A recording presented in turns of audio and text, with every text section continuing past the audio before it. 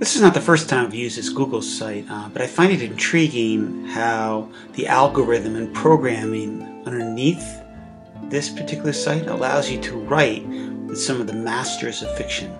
And so I decided I would try uh, once again this morning, just as part of our digital writing month, just to see what it's like to write with some of the masters that have been programmed into this software by Google. And you can see from my writing that it gets a little frustrating actually.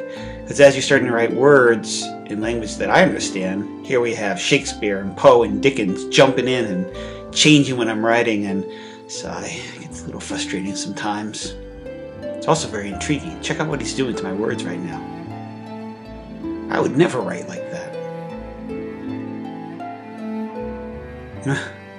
that Dickens.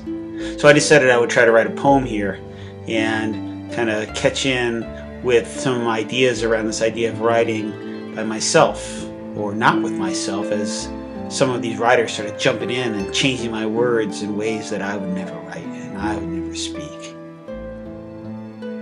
So part of the intriguing part, I think, of this kind of site is the idea that we're so used to writing alone that when you have another voice popping in um, and this happens in regular Google Docs too. If you ever try to do a collaboration with people, you'll be writing and suddenly you'll see words being typed by somebody else, either typing over what you've written or changing what you've written, or perhaps off to the side of what you've written. And suddenly the document that you're making is something completely new in a kind of interesting way.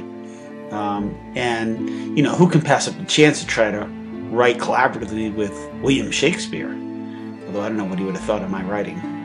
Um, but here um, I'm watching myself and Shakespeare kind of have this back and forth.